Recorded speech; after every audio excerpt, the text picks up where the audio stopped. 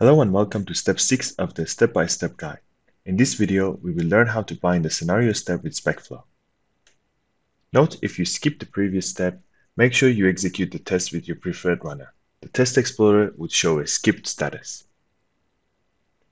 To bind the first scenario, open the calculator.feature file by double-clicking it in the Solution Explorer under SpecFlow calculator.specs, features, and then calculator.feature.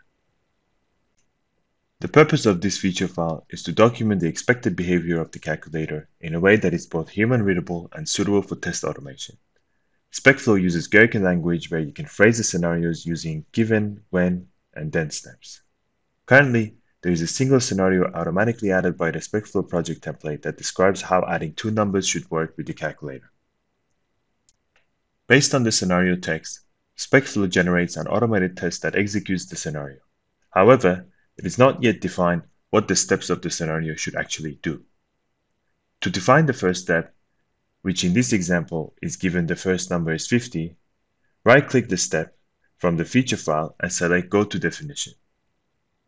Visual Studio will then locate the step definition, or binding, that belongs to this step.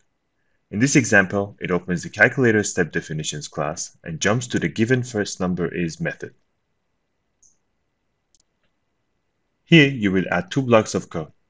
The first one is to instantiate the calculator that we want to test, and the second one is for the implementation of the first step definition method. Just like previous videos, you can find the codes in the video description and also on our step-by-step -step starter guide webpage. Next, navigate back to the Test Explorer, execute the test again, and click on Open Additional Output for this result. Here you will see that the step, given first number is 50, has executed successfully, but we are yet to define the second step, and it has the pending status. In the next video, we will look at binding the rest of the scenario steps. Thanks for watching, and I will see you in the next one.